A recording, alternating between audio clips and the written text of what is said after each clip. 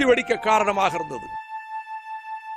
இந்திய தமிழக அரசியல் வரலாற்றில் அழிக்க முடியாத தடம் இந்திய எதிர்ப்பு போராட்டம். ஆயிரத்தி தொள்ளாயிரத்தி அறுபத்தி ஐந்தில் தமிழக மாணவர் போராட்டம் இந்திய அரசையே அசைத்து பார்த்தது. இப்போதும் அந்த காட்சிகள் அரங்கேற அதே காங்கிரஸ் கட்சி அடிகோலியது. மதுரையில் ஆயிரத்தி தொள்ளாயிரத்தி அறுபத்தைந்து ஜனவரி இருபத்தைந்து அன்று மாணவர்கள் இருவர் இந்திய அரசியல் சட்டத்தின் அந்த பிரிவை தீக்குளித்தினார்கள். தங்களுடைய எதிர்கால வாழ்க்கை பாழாகிவிடும் என்று தெரிந்தும் அந்த மாணவர்கள் இருவரும் அவ்வளவு மிகப்பெரிய தியாகத்தை அவர்கள் செய்தார்கள். அந்த மாணவர்களை காவல்துறையினுடைய வண்டியிலே ஏற்றி அனுப்பிவிட்டு நாங்கள் அனைத்து கல்லூரி மாணவர்களும் மதுரையின் நான்கு மாசு வீதிகளுமே பேரணியாக புறப்பட்டு சென்றோம்.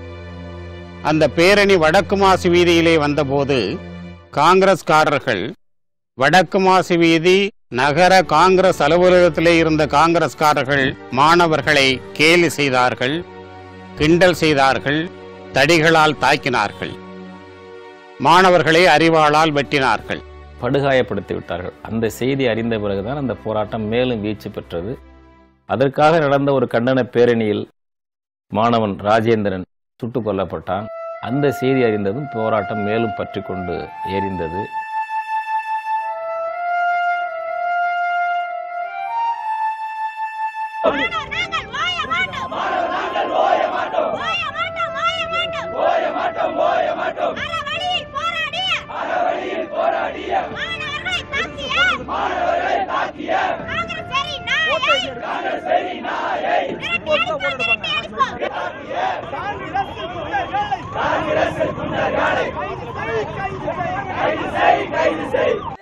தமிழினத்தை அழிக்க அனைத்து விதமான உதவிகளும் செய்தது திமுக அங்கம் வகித்த மத்திய காங்கிரஸ் கூட்டணிதான் என்று குற்றம் சாட்டிய மாணவர்களின் போராட்டம் திமுகவுக்கும் எதிராக அமைந்தது.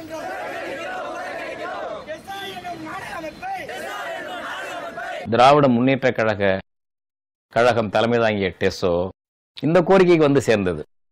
கலைஞர் கருணாநிதி அவர்கள் பன்னாட்டு வல்லுநர்களுடைய புலனாய்வு குழு வேண்டும் என்று கடைசியில் டெசோ மூலம் தீர்மானம் நிறைவேற்றினார். ஏற்கனவே தமிழக அரசு அந்த கோரிக்கையை உடன்பாடு கொண்டிருந்தது. தமிழக முதலமைச்சர் மீண்டும் சட்டப்பேரவையிலே பன்னாட்டு புலனாய்வு மன்றம் தேவை என்ற தீர்மானத்தை கொண்டு வந்தார். இலங்கை நாட்டை நட்பு நாடு என்று சொல்வதை இந்திய அரசு நிறுத்திக் கொள்ள வேண்டும் என்றும்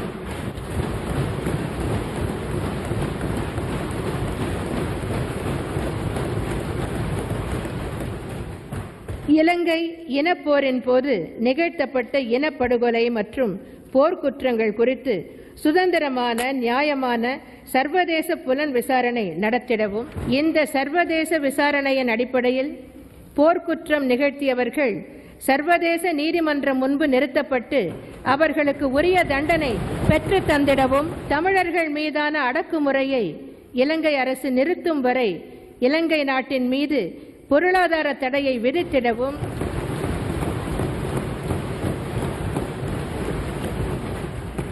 ஈழத்தமிழர்களின் எதிர்கால நலனை கருத்தில் கொண்டு தனி ஈழம் குறித்து இலங்கை வாழ் தமிழர்களிடமும் இலங்கையிலிருந்து இடம்பெயர்ந்து பிற நாடுகளில் வாழும் தமிழர்களிடமும் பொது வாக்கெடுப்பு நடத்திடவும் ஐக்கிய நாடுகள் சபையின் பாதுகாப்பு குழுவில் தீர்மானத்தினை கொண்டுவர நடவடிக்கை எடுக்க வேண்டும் என்றும் தமிழ்நாடு சட்டமன்ற பேரவை இந்திய அரசை வலியுறுத்தி கேட்டுக்கொள்கிறது.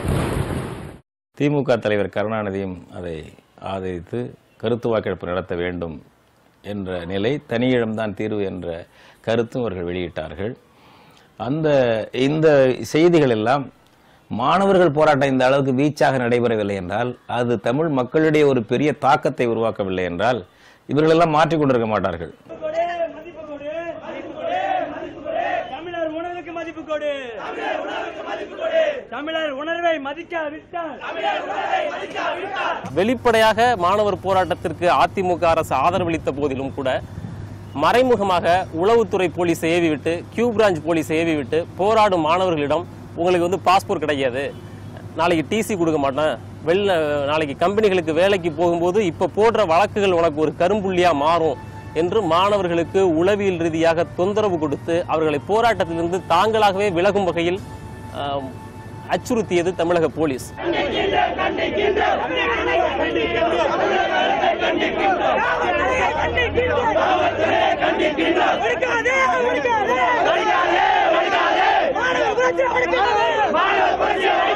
மாணவர்கள் ஒரு தனியான சக்தி அல்ல. அவர்கள் அந்த குடும்பத்தில் இணைந்திருக்கிற ஒரு முக்கியமான சக்தி.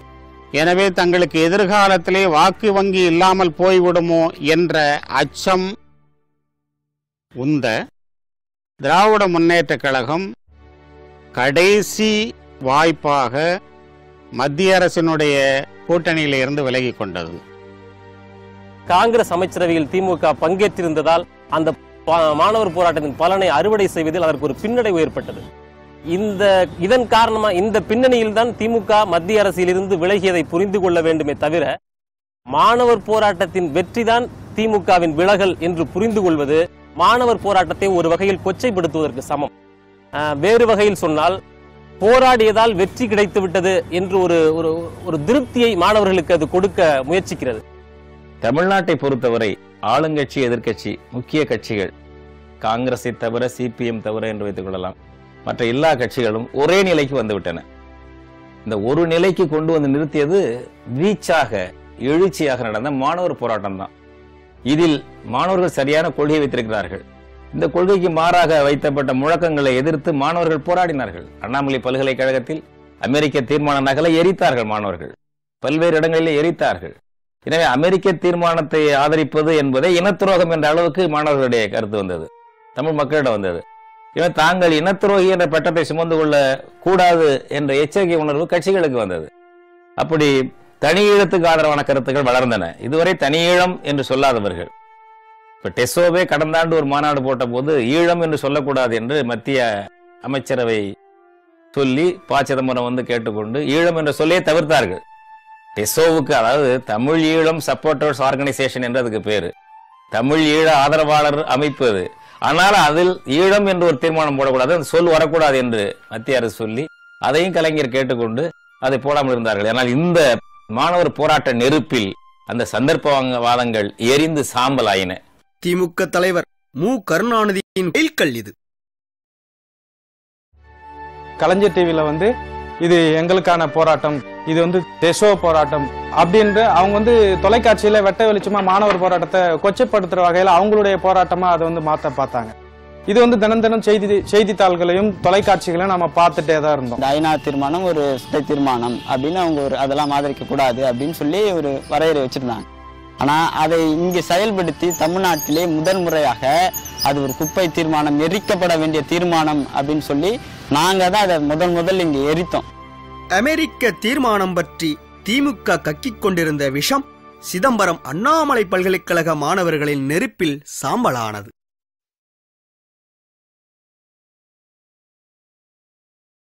இதற்கெல்லாம் முன்னதாகவே தமிழக அரசு மாணவர்கள் எட்டு பேரையும் கைது செய்ய முடிவெடுத்தது.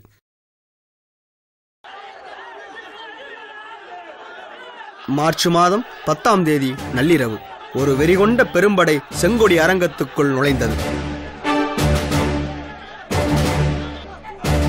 விடுவார்களா மாணவர்கள்? எவ்வளவோ தடுத்து பார்த்தார்கள். அசைந்து கொடுக்கவில்லை. இந்த அரசும் காவல்துறையும்.